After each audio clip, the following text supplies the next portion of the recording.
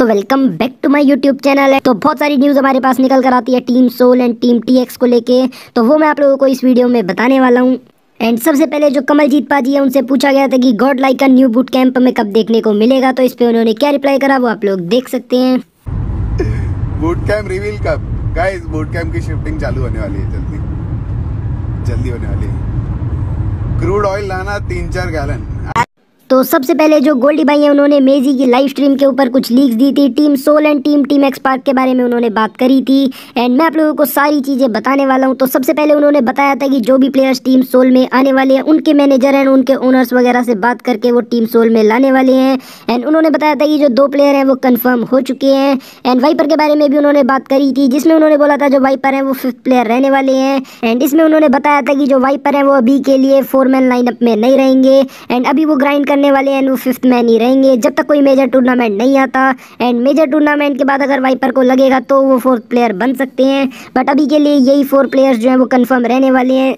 And इसके बाद जो गोल्डी भाई हैं उन्होंने टीम एक्स पार्क के लाइनअप के बारे में बात करी थी तो उन्होंने इस पर क्या बोला वो भी आप लोग देख सकते हैं।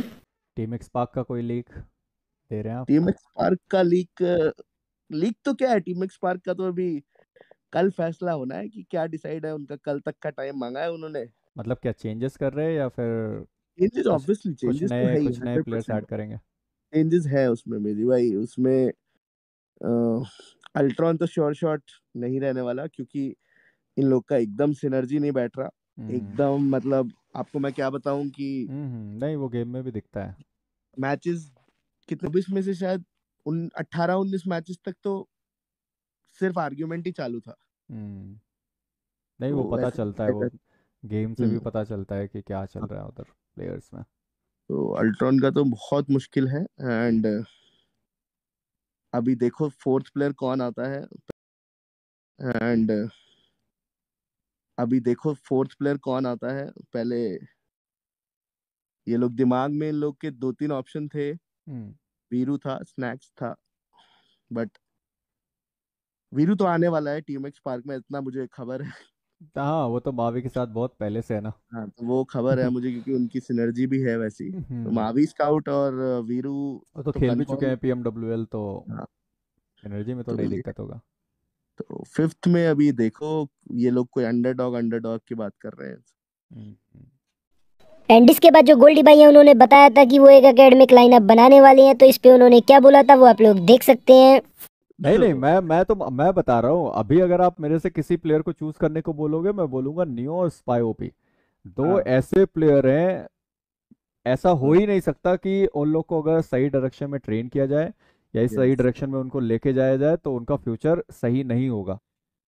बहुत अच्छे प्लेयर बहुत अच्छा गेम सेंस और बहुत अच्छी गन पावर ओ इनमें से स्पाई से भी अभी टच में आने का बात चालू है उसकी एज अभी पंद्रह ही है ना शायद? हाँ पंद्रह है बट एक कुछ मैं वैसे तो मैं अपनी स्ट्रीम पे अनाउंस करने वाला था बट चलो यही कर देते करने वाला था बट चलो यही कर देते हैं। हम लोग थोड़ा एकेडमिक लाइनअप का सोच रहे हैं। हम्म। तो उसके लिए उसको हम लोग अभी से ही लाने की सोच रहे हैं वैसा है सीन चलो लॉन्डो ये बहुत बड़ी लीग थी। फाइनली एकेडमिक जो लाइनअप होती है वो भी हमारे पास आने वाला है। कोई एक शुरुआत करेगा जी।